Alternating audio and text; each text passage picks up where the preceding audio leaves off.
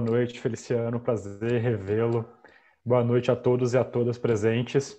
É um prazer estar de volta no seminário do queijo artesanal de Minas Gerais. Eu estive presente em 2018, quando falei sobre o GT de regulamentação da lei do celuarte, do qual eu era coordenador. É, e hoje já temos um decreto publicado, algumas normativas publicadas, e o celuarte já é uma realidade. Então, temos celuarte já concedida a produtores, temos um exemplo aqui hoje de queijo, e não só queijo, também outros produtos, como produtos carnes. Socol do Espírito Santo é um exemplo sobre isso. E quando a gente pensa em produtos artesanais, a gente sempre remete, sempre pensa em produtos, principalmente o queijo artesanal, e produtos que vieram com os portugueses, com é, a, os, os italianos e outros imigrantes. Mas são produtos que já existiam no Brasil antes da colonização. Então, nós pensamos em produtos de pescados da região norte, principalmente, em, e outros produtos, e que são produtos diversificados, nós temos produtos carnes, pescados, de abelhas, mas que são produtos que têm um ponto em comum, têm um vínculo comum, que é justamente um vínculo tradicional, esse vínculo com o território, da ocupação desses territórios. É, e são produtos que sempre foram produzidos, muito vinculados à, subsistência, então eram feitos com justamente o que sobrava do leite na propriedade, que sobrava da carne, e que que, que faziam parte, fazem parte até hoje da segurança alimentar das famílias, principalmente no meio rural. Mas que com a lei 1283 de 50 é, foi estabelecido que todo produto de origem animal, para ser comercializado, ele precisava de prévia fiscalização e inspeção do ponto de vista industrial. É, e talvez seja a primeira legislação brasileira que se tornou um impeditivo para a produção desses, desses, desse grupo de produtos, né? É, mas ela, de certa forma, ela criou uma série, uma série de, de requisitos justamente preocupada com a questão sanitária e com a industrialização brasileira. É um, um tema, ele ficou, de certa forma, esquecido durante muito tempo, mas principalmente por uma campanha é, capitaneada pelo Estado de Minas Gerais, pela valorização e pela preservação dos queijos artesanais mineiros, esse tema veio de novo para a esfera federal, para discussão, é, e aí tem um histórico breve, mas um GT do queijo artesanal em 2009, 2010, que deu origem às IN 51 e IN 30, que tratavam da produção de queijo a partir de leite cru, é, até que ia ser uma forma de atendendo a demanda dos produtores, mas até que em 2018 foi publicada a Lei 13.680, que é a Lei do Celuarte. A lei, ela simplesmente incluiu um artigo na Lei de Inspeção, que é o artigo 10A, que possibilita que esses produtos com vínculo tradicional, territorial, pudessem ter comércio interestadual. Então, é o primeiro item talvez o mais importante dessa lei, é a abertura de mercado para esse grupo de produtos, desde que se cumprisse uma série de pré-requisitos, entre eles as boas práticas agropecuárias e as boas práticas de fabricação. Então, nós temos aqui um produto que tem que cumprir esse vínculo tradicional, mas que também tem que observar as questões sanitárias os riscos sanitários que são é, importantes e, e, são necessários serem observados. Então, tivemos o GT, que eu comentei isso aqui em 2018, o GT do celular, foi um GT que foi composto por vários órgãos da, da esfera federal, mas também estadual, por representantes de produtores, representantes de consumidores. Então, foi um grupo bem diverso que tratou justamente de como seriam tratados esses produtos, como é que seriam caracterizados e qual seria, então, é, o escopo dessa lei, desse decreto, né? Então, o decreto foi um decreto muito simples, ele apresenta basicamente um conceito do que é artesanal, alguns requisitos, e desses requisitos vale a pena destacar a necessidade de matéria-prima da própria propriedade ou com origem definida, então a rastreabilidade, a origem determinada dessa matéria-prima, a questão de usar utensílios e técnicas manuais em processos que dão a qualidade final do produto, e aí eu estou pensando em qualidade final porque eu não preciso manter mãos em todo o processo. Isso é inviável muitas vezes, isso é penoso e muitas vezes as inovações técnicas elas são necessárias e são importantes no processo. Então, de forma alguma a gente quer evitar ou quer proibir que existam inovações no processo, muito pelo contrário. É, e, o, e o outro requisito que eu acho que vale a pena destacar é o produto final ser de fábrica individualizado e genuíno é o que justamente que difere esse produto do produto é industrial. É o, é o, o que faz, esse, faz ele, ele ser genuíno é justamente esse vínculo territorial, tradicional e cultural que esse produto representa. Então, eu não estou falando de qualquer produto, eu estou falando de produtos é, realmente que preservam cultura, que preservam a tradição e que têm esse vínculo é, com a ocupação do território. Um outro ponto que foi colocado pelo decreto foi justamente as competências. E aí eu coloco aqui as competências como a primeira interrogação, porque é importante não confundir a Lei 13.680 com a Lei 13.860. E a 13.860, que vai ser a discussão na próxima, na próxima palestra, que é da Maiara, é, ela trouxe alguns conflitos entre as competências que nós colocamos no decreto 1918 para o queijo. E a gente está trabalhando em conjunto, a SDA, que é a Secretaria de Defesa Agropecuária, com a Secretaria de Inovação, na qual eu trabalho, justamente para harmonizar essas duas normas. Mas isso, vai, isso é assunto para o próximo bloco. É, então, nós tivemos basicamente esses itens do decreto. É um decreto bem simplificado. E qual era o objetivo dele? Delimitar de fato o que, que era artesanal. E aí a gente pode perguntar, então, o que, que não é artesanal? Então, o que, que não é produto com selo arte? O primeiro ponto são produtos não inspecionados. A gente está tratando aqui de produtos que são que sofreram, que tiveram inspeção é, sanitária. São produtos que têm ratificação do Estado, que são produtos seguros ao consumo. Então, é o primeiro ponto. Ele está dentro de uma lei de fiscalização e de inspeção de produtos de origem animal.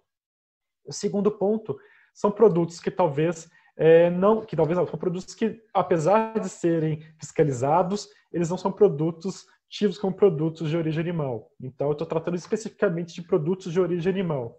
Então, a compota de doce não seria. Um doce que leva leite em sua composição, mas que não é um produto considerado de origem animal, também não seria.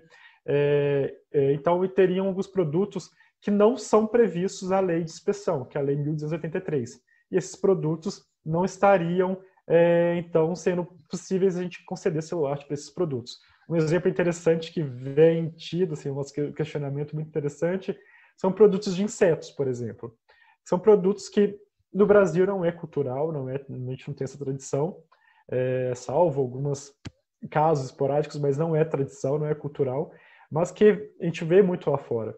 Mas são produtos, os insetos que não são previstos na lei de inspeção, então não teria um produto apto ao celular.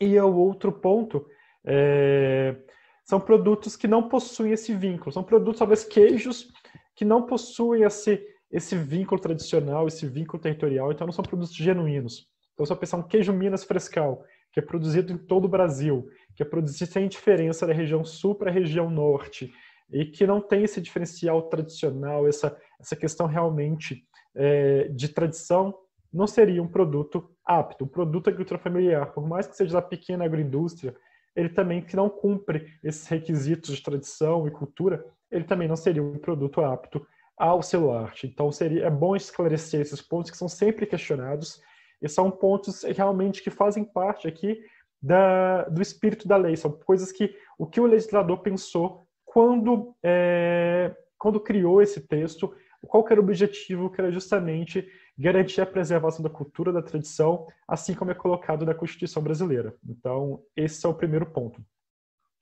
É, após a publicação do decreto, a gente percebeu que nós tínhamos muita coisa a, fazer. A primeira coisa era criar um sistema informatizado que está em processo de, de, de finalização, para a gente realmente é, é, ter esse produto é, de forma clara ali, além de trazer as informações de inspeção, trazer ali é, quem produziu, mas trazer a história daquele produto, trazer que ele realmente é um produto é, fiscalizado, um produto que realmente é considerado artesanal e facilitar para o consumidor que está consumindo um queijo artesanal de Minas Gerais, lá em São Paulo, aqui em Brasília, que ele possa saber onde aquele produto foi feito, qual é a história daquele produto, daquela família, com aquela, com aquela produção. Então, é um dos objetivos, está no forno, está quase pronto, então acho que é um do, talvez um dos grandes gargalos hoje da, da implementação de fato da política. E outros pontos são os regulamentos infralegais, como o próprio, o próprio procedimento para se conceder e para requerer o celular, isso já está numa normativa.